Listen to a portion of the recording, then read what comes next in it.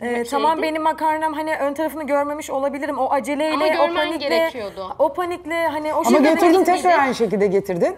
İşte o aceleyle o an e, şey Anladım. yapamadım yani. öyle Aceleyle diyor benim orada elim kanadı. Elimin kanamasını unuttum. Yeter ki güzel sunumlar Bizim de aynı şekilde, koyayım bizim de diye. aynı şekilde o aceleyle hepimizden başına Evimizdeki geliyor. gibi olmuyor zaten Zuhal Hanım yani. İnsan hakikaten panik yapıyor. Gerçekten evdeki Kesinlikle. gibi olmuyor. Ama gerçekten çok zor bir ambiyans yani. Aha, aha. Arkadaşlarım hepsine teker teker katılıyorum. Menüsünü ne kadar hani e, diğeri basit bulsa, zor bulsa da oradaki atmosfer, e, o baskı, yetiştirmek, masa, giyinelim, hiç eksik olmasın.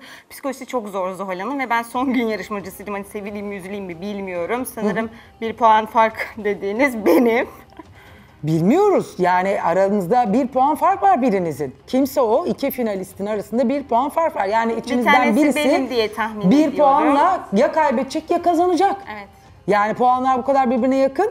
Ee, ama ben burada en çok haksızlığa uğrayanın Zeynep olduğunu düşünüyorum. Kaybetsem de insanların gönlünde Bilemezsin. birinci benim. Öyle mi diyorsun? Evet. Yağmur sen gönlümde neler de diyeceksin? birinci. Yağmur 18 yaşında bir arkadaşınız. Henüz nişanlı. Ee, ona bakarsanız bugünkü gelinimiz de aslında bir yıl evvel evlenmiş ama 4 ay evvel düğününü yapmış. Ona keza 6,5 yıllık gelinlerimiz var. Ama Yağmur en genciniz ve henüz bir gelin de değil. Ee, fakat maşallah verdiği cevaplarla, duruşuyla e, maşallah güzel mi savundu diyeyim kendine. Ne diyeceksin Yağmur? Sen de kendini değerlendir. Kayınvaliden Yani ben- itiraf etti. Ee, Zeynep'e birazcık daha yüksek puan vermemiz gerekiyordu dedi. 3'tü 6 yaptı dünkü gelinimize puanını. Ee, o da sendin e, Melis. Ee, aslında sana 3 verecekmiş ama Ayşe Hanım'a ve e, gelinine inat onu 6 yapmış. Bunu da itiraf etti. Çünkü rakip gördü bizi. Ayşe Hanım da Zuhal Hanım yeri gelmişken söyleyeyim. Benim masamı dün resmen sabote etti. Benim Aa, moralimi çok bozdu. gerildiniz. Beni çok düşürdü. Hani oturdu başladı bir bardakla. Dün kendisine de zaten e, yorumlarımda da söyledim, belirttim. Zaten duyduğum kadarıyla başka gelinlerin de üzerinde çok gitmiş.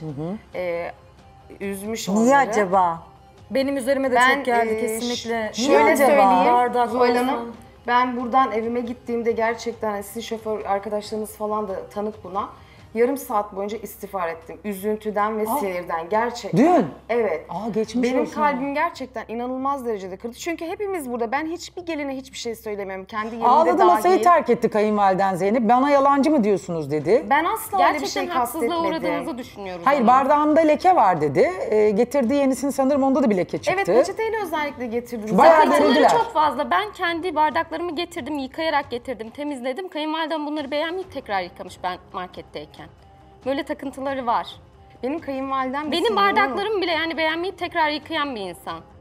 Ben sırf sıfır bardak dedim diye beni yalancılıkla. Ben hiçbir büyüğüme e, saygısızlık yapmak istemedim. Bir de teyze Ama o demene bizim- takılmış. Gerçekten misafir gibi düşündüm. O yüzden öyle yaklaşmak istedim. Hani sıcak bir ortam olsun istedim. Hanım diye böyle... E, Teyze denmese ne diyeceksiniz Yağmur? Ben Teyze sıcaklık, bana- ben senin samimiyetten... değilim. Ayşem dedi ki ben bana teyze değil hanımefendi ya da hanım diyeceksiniz. Biz burada hiçbirbirimizi tanımıyoruz. kendisine nasıl konuşulmak istiyorsa e, bence kendisi de karşısındakine öyle konuşmalı. Benim masama oturur oturmaz hemen kaşıklarımı falan bahane etti. Direkt böyle ay aç kaldım ekmek yiyeceğim dedi. Ben de peynir getirdim boş yemesin diye. E, saygısızlık Saygısız oldum. Saygısızlık bu. Sizin oldum. kayınvalideniz Çünkü bana- oturur oturmaz ay bu kütük, ay bu çuval. Benim ben el emeği verdim Benim, sizin onlara. kayınvalideniz bana sivri dilli diyor. En azından saygısız değilim. Yani affedersiniz Sivridillilikle de. saygısızlık aynı şey Sizin değil yaptığınız sence? saygısızlıktan başka bir şey değildi yani. Doğru siz haklısınız. Önüne Sizin peynir tabağı koymak nedir? Peynir tabağı değil Ekmek bir de yiyorsa bırakın yemek ekmek yerine, yesin. Yemek yerine Kayseri mantısı e, getirmiş onu hiçbir şekilde Yağlama. zaten. Aynen Kayseri yağlaması. Kayseri e, yağlaması Kayseri'de e, bizim ana yemeğimiz. Ha, Ben bizde o şekilde yemek olmadığı olarak- için e, aynen bizde o şekilde kayınvalideler de o şekilde değerlendirmiş olabilirler. Bir de e, Ayşe Hanım dün bana şu şekilde bir şey dedi. O da benim çok kafama takıldı. Ben et soteyi gerçekten çok seviyorum. E, o yüzden dedim ki ben bunu günlük yaptığım bir yemek dedim. Bana diyor Siz ki... günlük soya soslu et mi yapıyorsunuz? Aynen çok seviyorum. Günlük. Gerçekten çok sevdiğim İlginç. bir yemek. Yanında pilavla. Eşim de eti çok sever. O yüzden Pilav klasiğini biz çoktan geçtik. e, hayır Pilav. evimde söylüyorum. Burada tabii ki de pilav yapmadım ben. Bana şöyle bir şey söylüyor. Diyorsunuz ki siz bonfileyi günlük yapamıyor musunuz? Benim uğradığım haksızlığı konuşuyoruz ama şu an. Hayır ama ben de haksızlığa uğradım kayınvalideniz tarafından. Bence siz hiçbir şekilde Masanın haksızlığa uğramadınız. başladı. Sırf birinci Sonuna olmamı kadar- istemedikleri Bizim masanın için. da morluğundan başladılar. Hayır benim annem size 6 puan verdi. En 6 yüksek puan, puan, 6 verdi. puanlık bir masa değildi benim masam. Ama en yüksek tamam kabul puanı ediyorum verdi. çorbamı belki beğenmemiş olabilirlerdi ama kesinlikle 6 puanlık bir Annen masa 6 değildi. puan doğru verdi. Ee, ben de ger- gerçekten o gün takdir ettim. Fakat bugün Seda sen Evet, e, ben çok düşük o- 4 puan verdi. Biz bunu anlayamadık Seda sen ne Ama diyeceksin? orada sanırım gelinini korumaya çalıştı. Birinciliğe oynadı ama bir, çok büyük bir haksızlık yaptı. Yani gerçekten hakkaniyetten, verilecek puanlardan, her şeyden bahsediyorsak.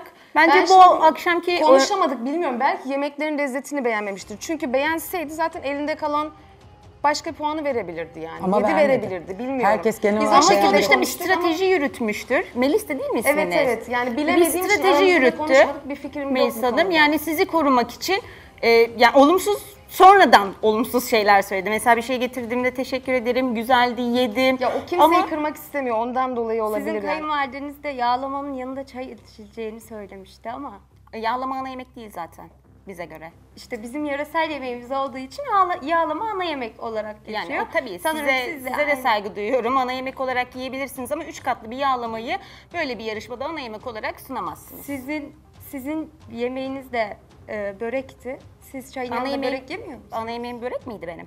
Siz çayın yanında börek yemiyor musunuz? Yemeğim Burada börek çayın miydi? yanında yapabileceğimiz şeyler Benim ana yemiyoruz yemeğim ya. börek miydi? Burada çayın yanında Öncelikle yapılan- onu yiyeceğimiz cevaplayalım. Üç şeyler- katlı yağlama getirmedim ben. Farklı güzel sunumlu bir yemek getirdim. Sizinkiyle benimki bir kere kıyaslanamaz. Sizinkine de saygı duyuyorum. Emeğiniz var. İki buçuk saatlik bir zaman diliminde onu yetiştirebilmişsiniz. Ben bunu yetiştirebildim. Kesinlikle sizin yemeğinizle benim yemeğim kıyaslanamaz. Tabii ki kıyaslanamaz ama burada çayın yanına ikram edemeyeceğimiz yemekleri yapmıyoruz ya hani. Demek üç katlı bir yağlamayı ana yemek olarak ben demek ki misafirime siz çayın sunamam. yanına börek Eğer yiyemiyorsunuz. Şeyde sizinle e, orta yolu bulursak, yağlamanın ana yemek olduğunu ben bir gün kabul edersem ben yine üç katlı bir yağlamayı misafirime ana yemek olarak sunamam. Kusura bakmayın. Kime göre neye göre işte. Bu En da az sizin Yağlamaya tercihiniz. göre Yağlamaya En göre az ve yedi Kayseri'ye katlı. göre 3 katlı olmaz Yağmur. Doğru söylüyor Seda. Yani En ben az de yedi şaşırdım. katlı. Bu Sadece bu yüzden programda söylüyorum. 7 kat olsaydı lafınızı böldüm Zuhal Hanım. Yine Rica saygı duyardım. Ama 3 katlı bir yağlama için yani Sonuçta ben, ben, emek verip ellerimle açtım. Sizin gibi çanakta et yapmadım. Burada Ben çanakta et emek yapmadım. verdi. Benim yem şey, lafınızı böldüm. Siz benden sonra konuşun isterseniz. Benim yemeğim öyle alıyorsun çanağı koyuyorsun hop tabağa getiriyorsun bir yemek değil. İzlediğinizde siz de Yağlama da aynı göreceksiniz. şekilde öyle değil. O Üç zaman katlı 7 da katlı yapacaktınız. O zaman 7 uğraştırıyor. katlı yapıp hepimizin ağzını kapatacaktınız. Nasıl Çok açık ve net. anlamadım. 7 katlı yapacaktınız, yetiştirecektiniz. Madem yani bizimkiler size göre çok basit. Ekmek arası peyniri gibi. O zaman siz de yetiştirecektiniz. İsminizi de Ben de bilmiyorum ama. yetiştirdim zaten. Üç Sıkıntı katlıyı yok ama yetiştirebilmişsiniz. Biz şu anda çayın yanına verilebilecek mi? Bunu tartışıyoruz Verilir. aslında. Bizde verilir. Sizde ana Öyle mi? yemek. İşte damak zevki. Bizde ana yemek, yöresel bir yemek, Kayseri'ye özgü bir yemek. Evet. Normalde bizim orada çayın yanına bu tür şeyler verilmez. Demek ki benim yaptığım her şey böyle tencereye atılmış önüne koyulmuş bir şeydi o zaman. En büyük haksızlığa uğrayan benim burada. Kayınvalideniz başladı zaten masaya oturduğunda mor gözüm alıyor düğün salonu gibi falan gibi şeyleri. Sizin kayınvalideniz de aynı renkler şekilde. Öyle dolu tartışılmaz. dolu geldi ki masama. Neden dolu dolu Yani geldi ay acaba? bu lekeli, ay ben aç kaldım burada. Aç kalmış çünkü. Ben de peynir ekmek Çünkü getirdim, aç kalmış. saygısız Bütün oldum. kayınvalideler benim masamda aç kalmadı. Sırf beni rakip gördükleri için bana bu puanları verdiler.